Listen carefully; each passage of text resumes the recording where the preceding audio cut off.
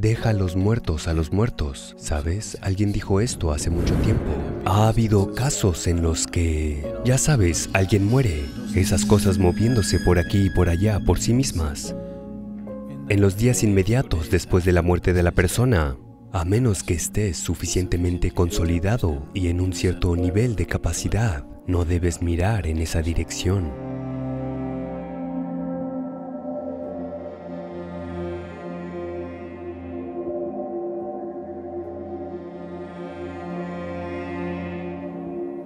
Lo que deberías hacer es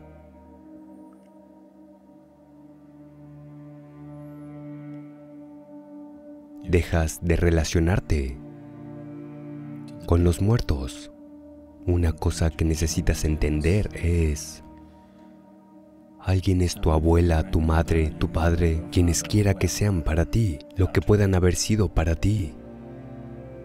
Por muy queridos que puedan haber sido para ti, por muy cercanos e íntimos que puedan haber sido. En el momento en que se despojan de su cuerpo, de su sentido general de mente, intelecto y emoción, tus asuntos con ellos han terminado. Dejaron todas esas cosas aquí, ¿cierto? Sí. Todas esas cosas las dejaron aquí, todo lo que sabías de ellos se ha terminado. Alguna otra sustancia sigue activa, pero nunca tuviste ninguna relación con esa sustancia. Tu relación es con los otros aspectos. Todos esos aspectos se perdieron cuando esa persona murió. Así que lo único que haces cuando alguien muere es aprecias los momentos hermosos que tuviste con ellos. Eso es todo. Si hubo algo hermoso, aprecias eso. Si no, solo olvídate de ellos. No trates de resolver tu culpa y tus problemas a través de los muertos. Puede simplemente llegar a ser muy complicado. Puede llegar a ser muy, muy complicado. Deja a los muertos a los muertos, ¿sabes? Alguien dijo esto hace mucho tiempo. Debes dejar los muertos a los muertos. No tienes nada que hacer con ellos. A menos que estés en un cierto nivel de dominio de tu propio lo que sea.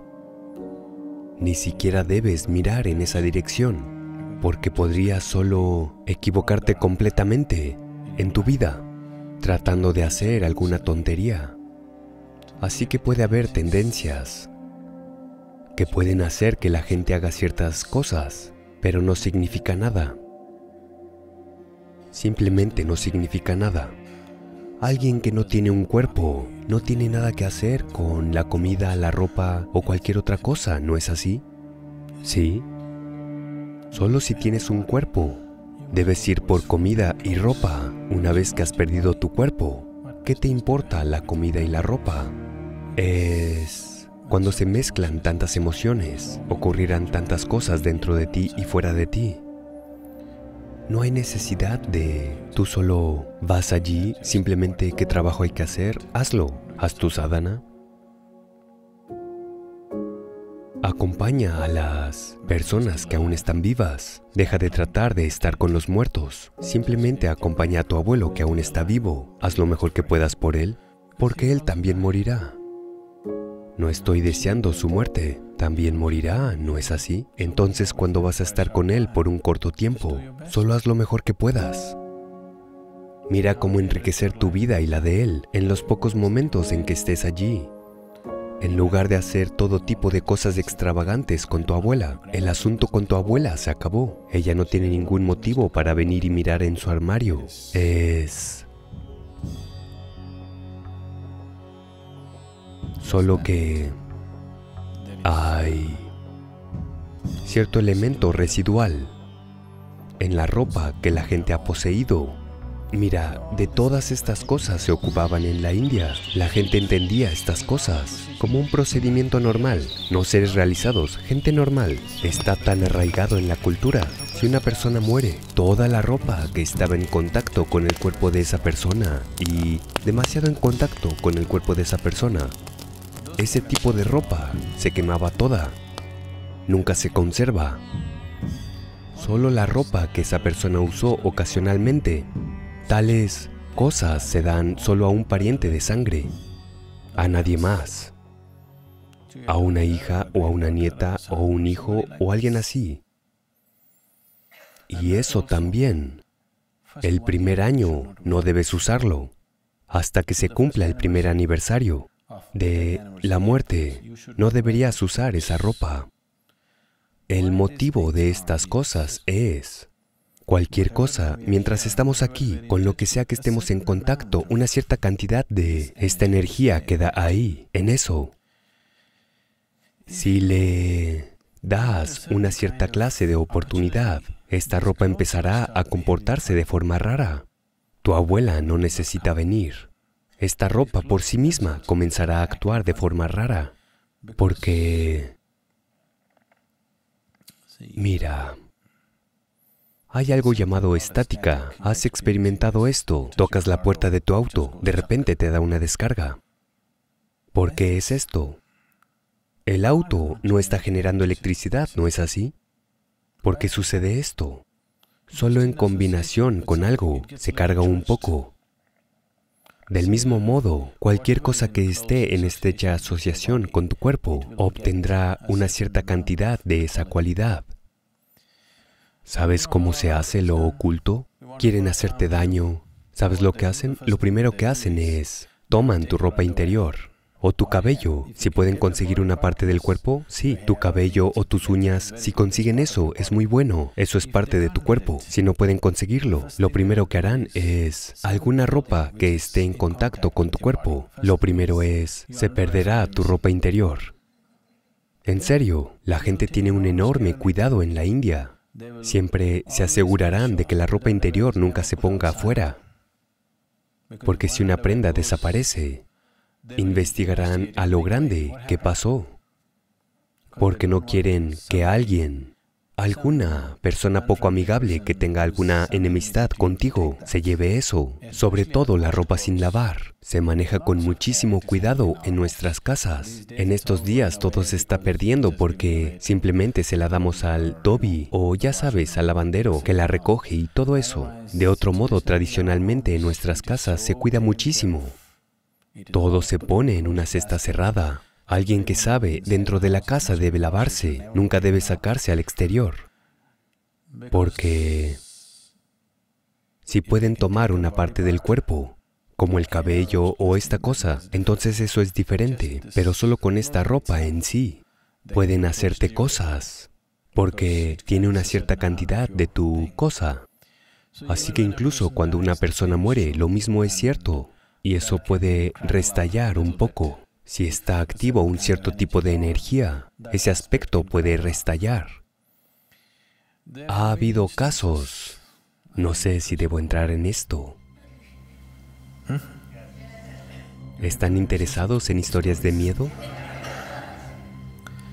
Ha habido casos en los que, ya sabes, alguien muere y como ella está diciendo ahora mismo.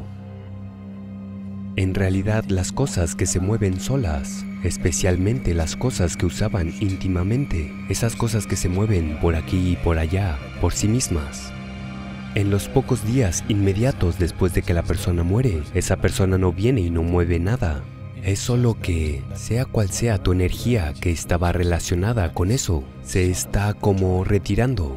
En el proceso de retirada, Habrá un poco de movimiento extra. Mira, ahora tu motor está encendido en el auto, parado ahí, sin demasiada vibración. Cuando lo apagas, cuando está a punto de detenerse por completo, ¿notas? Un pequeño movimiento extra en el auto. ¿Te has dado cuenta? Hoy en día los autos se construyen de tal manera que no lo notas mucho, pero los motores más antiguos que ves cuando lo apagas, se apaga se está deteniendo. En realidad debería desvanecerse, pero no es así. De un modo a otro modo, cuando cambia, habrá un poco de reverberación extra. Del mismo modo, tu motor se está apagando. Ahora habrá una pequeña sacudida extra por todos lados. Esa sacudida extra se confunde con los fantasmas que caminan por todos lados. No, no se trata de ningún fantasma caminando. Es solo por una cierta retirada de energía que algunas cosas puede que sucedan, no necesariamente todas las veces. Muchas cosas las imagina la gente, pero puede suceder. En realidad sucede, así que para todas estas cosas, para asegurarse de que esas cosas se limpien, si una persona muere hoy, después de tres días haremos un tipo de procedimiento. En el día 11 haremos otro tipo de procedimiento. El día 13 haremos otro tipo de procedimiento. El día 40 haremos otro tipo de procedimiento. Todo esto es para asegurar que no quede ningún resto de esa persona. Para que los muertos puedan ser empacados y enviados los vivos puedan continuar con su vida. Si los vivos se involucran con los muertos, perderán su vida de tantas maneras. Todo este asunto fantasmal y espeluznante es algo intrigante, pero puede simplemente consumir tu vida de tantas maneras diferentes, de muchas maneras, de maneras que no entenderás ahora mismo y de maneras que no tienen por qué ser muy placenteras. Puede consumir tu vida por completo, tu involucramiento con los muertos. Esto no significa que haya alguien sentado ahí que esté tratando de succionar tu vida, no. Simplemente involucrarse con los muertos puede hacer eso. A menos que estés suficientemente consolidado y en un cierto nivel de capacidad, no debes mirar en esa dirección. No es necesario.